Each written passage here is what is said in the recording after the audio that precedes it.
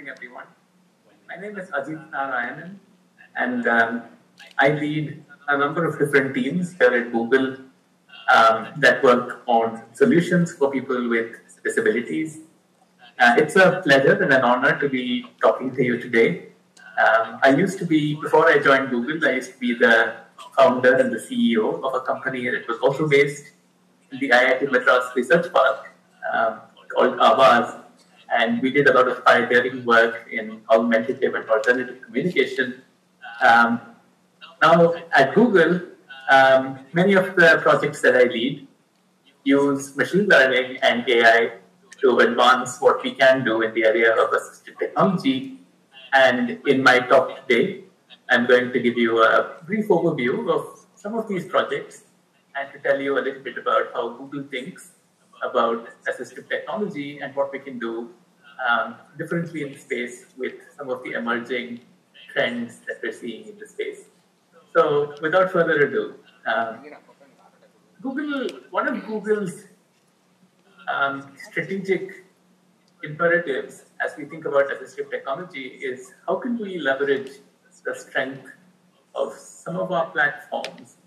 Uh, if you look at platforms like Android, Chrome, the Play Store, these are platforms that reach really billions of individuals around the world. Um, you know, and in order to be able to use these platforms for social good, in order to be able to use these to empower people that have been traditionally underserved, um, that's very central to Google's principles and Google's philosophy. At the same time, there's also a lot of good that can be done by leveraging these platforms as opposed to standalone solutions. Because of the reach that these platforms have, solutions that are built on top of these platforms by Google and by other you know, third-party um, companies can instantly reach many of these users with platforms that are well trusted and well tested. So the work that my team, my teams do are primarily in these areas.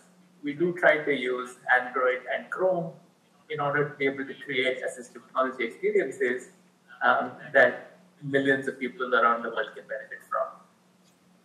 I'm going to talk to you today uh, about three assistive technologies that were built um, at Google. Um, there are several others, accessibility features, accessibility related features, uh, mainstream features that benefit people with disabilities greatly. But I'm going to spend some time today talking about these three. And I think uh, these provide a really interesting uh, overview of the assistive technology investments that Google have made, coming from three different directions. Action Blocks, which is an Android app um, for people with cognitive disabilities. And cognitive disabilities can include conditions like Down syndrome or autism, but also age related conditions uh, like dementia. Lookout, which is an app, again on Android, that uh, helps people who are blind or who have low vision uh, make sense of the world around them and Project Activate, which is an app that helps people with very severe motor disabilities to communicate. So these are three assistive technologies that cover a wide range of disabilities. And uh, in the process of talking about all of these technologies, I will talk about how Google's strengths in machine learning and artificial intelligence have helped us to build these technologies. Um, and also some of the principles that we use to make sure that these technologies are built responsibly and effectively. Uh, let's start with action blocks. The overview of the value proposition of action blocks is essentially to be able to complete daily tasks with one tap. Now, um, let's suppose that a person who's using their phone has a desire to do a particular thing. For example, if they want to listen to their favorite song on their phone. Um, the slide that I'm showing you now shows the multiple steps that are involved in actually doing this. So first, you would have to open your phone and find the music app. In this particular case, it's Spotify. Um, you would then have to find the search button, and the the button is hidden in a very complex user interface that has many, many different elements in it. You would type the name of the artist in the search, and then you might press the play button in the UI And each of these involves understanding the design patterns of how apps are created. There's a lot of encoded knowledge that's easy for people who have technology literacy to be able to access, but can, can pose a significant accessibility barrier for whom these technologies are unfamiliar or who have difficulties with remembering and learning new things. For example, people who have age-related conditions like dementia. So what Action Blocks does is that it allows you to place widgets on your home screen. So these are essentially large um, customizable blocks that you can place right on the home screen of your app, which perform the action in a single step. So you might have a button that says, know, play this particular song or play the songs by this particular band, and it's right there on the home screen. And you can customize it. You can add, you know, your own custom image to it uh, to help with familiarity. And the way that it works is that it uses the Google Assistant to then invoke a command which performs the action end to end. Now, behind the scenes here, there are many, many different machine learning technologies that are being used. Um, the assistant has a very sophisticated natural language understanding pipeline that allows for converting natural language commands like play Beatles on Spotify, converting that into internal representation um, that allows it to then trigger various actions. Those actions themselves are also, um, a database of these actions is created, curated, and maintained with a significant amount of machine learning um, and representational knowledge. So the end-to-end result of using action blocks is essentially shown on this slide um, as, as a brief video. So you can see that the user taps the button and then it invokes the assistant, and then it goes straight into the app that the user was expecting, and it starts playing right away. So it's a single tap that replaces a multi-step operation and acts as an accessibility um, an, an, accessibility feature uh, that makes these complex user journeys more accessible for people with cognitive disabilities. Um, let's talk about uh, some of the other accessibility considerations when behind action blocks. So it does support a variety of accessible of assistive technologies like physical switches, provides icons that are familiar to AAC users, and it also can act as a as, as a basic AAC app. So anyone that has an Android phone can have access to a baseline AAC app um, for free. So these are some of the benefits of action blocks. Now, um, I'm going to talk a little bit about um, Lookout, uh, Lookout is a, is a great example of machine vision and um, vision-based machine learning that's applied, applied to assistive technology. And um, it started off in 2019, the first version was released, and um, we've continuously improved it, we've continuously added features to it based on user feedback. And I think the evolution of Lookout is a really interesting example of how Google approaches um, some of these machine learning based assistive technologies through the lens of users and how we, we center our processes on, on the user as well. So let me give you a walkthrough of the app, um, but let me also out some of the ways in which we have made this app really in collaboration with people with disabilities um, throughout the lifetime of the app. So we started Lookout a, a few years ago the first version of Lookout really had three different modes in it. Uh, it had what was called an explore mode. So essentially, what the explore mode do, does, um, or what the explore mode did in the Lookout 1.0, was that it would look, you know, the, the phone has a camera, and Lookout, the Lookout app would look through the camera around in the world around them, and um, it would then use a combination of machine learning and natural language processing to convert what it was seeing through the lens into a narration that described what it was seeing. So, in some sense, it was acting as um, an assistive technology that uh, described the world around them for a person who was blind or with low vision. Um, and the goal being that this, this would therefore be an assistive technology in helping users find things, navigate things, recognize things, and so on. Um, so one of the uh, other features that Lookout 1.0 had was uh, shopping. So you know, there was a mode where you could uh, you, could get help when you were looking for different things, and also had a quick read mode in order to read documents. Now, one of the main assumptions of Lookout 1.0 was this idea of a hands-free operation.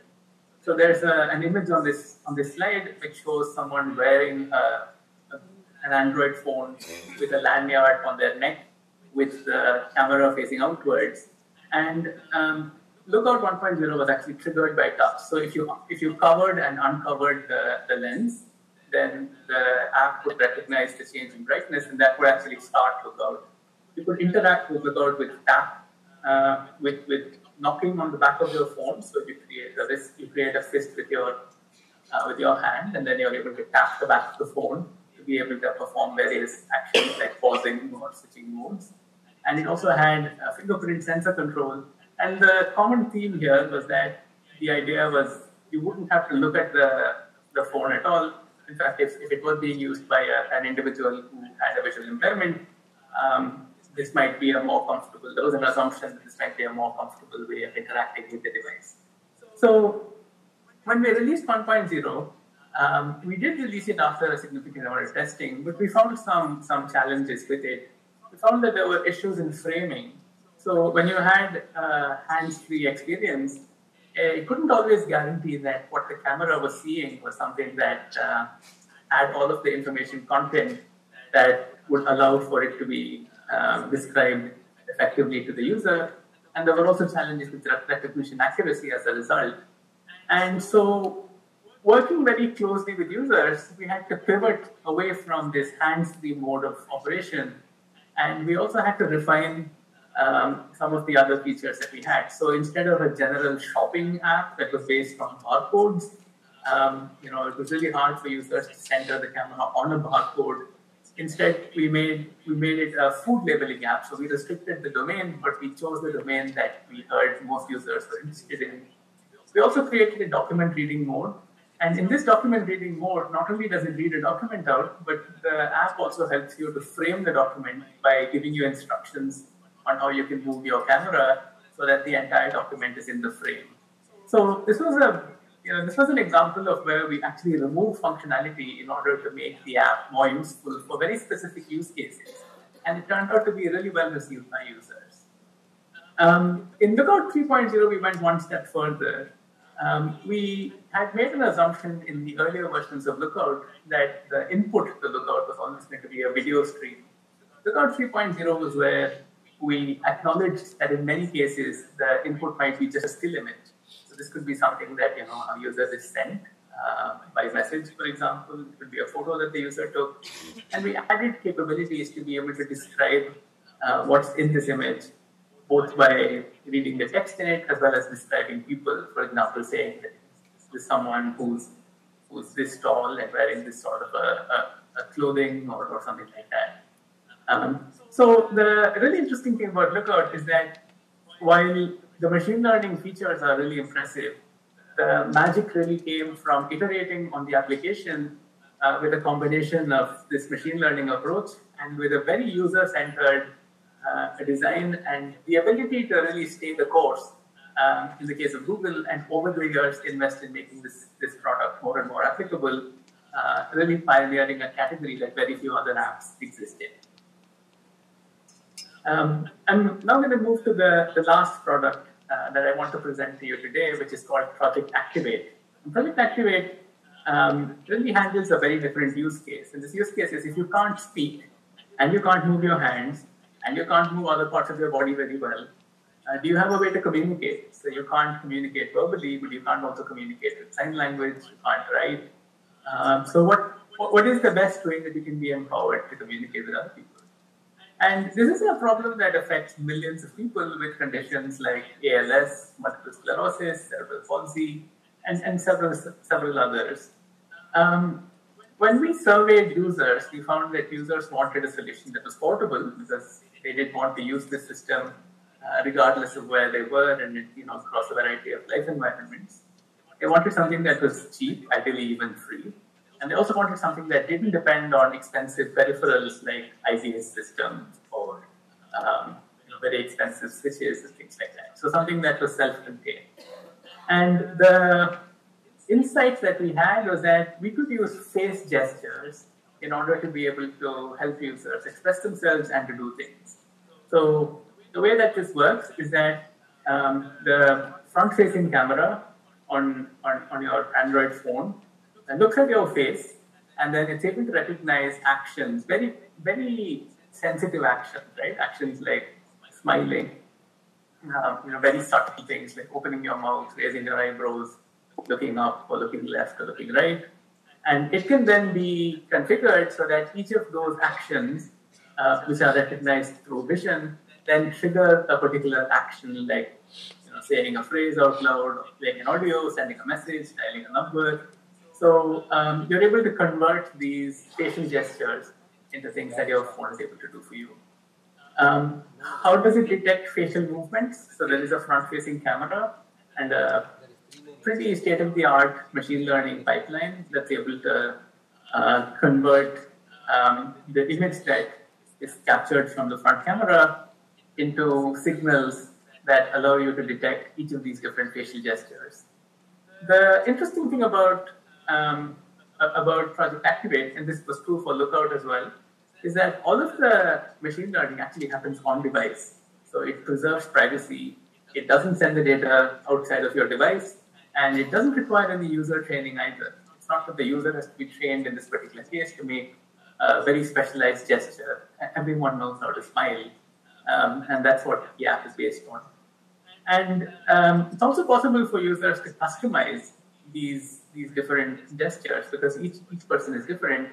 So based on lighting, based on facial paralysis, based on you know whether there is a chance of uh, false activations, users can customize the sensitivity and the timing of any of these actions as well. So this uh, slide shows a brief video of how um, um, Project Activate works. So uh, I'll talk through it for people that have uh, accessibility needs. So what it's showing here is that you know the, there's a camera and it's looking at the user, and it's detecting different facial gestures. For example, it's detecting um, you know uh, it's, it's providing options the user to do different things if the user opens their mouth, or if they look right, or if they smile, and then the user is opening their mouth, and there's a confirmation step, and this confirmation step, uh, once the user performs it, uh, by opening their mouth again, it sends an SMS to a particular number asking for someone to come. come. So this is a really powerful feature, and it, it, totally changed the life of many people who otherwise had very limited ways of communicating. And it, uh, it, it gave people a lot of independence. Uh, it gave people uh, a lot of empowerment to be able to do things. Um, and this was because of the fact that it was based on Android and it was on device and um, it was a free app. All of these are free. Uh, what it meant is that it, it, made it commercially accessible to nearly anyone that, that, that can afford an Android phone, which is uh, billions of people at this point in time.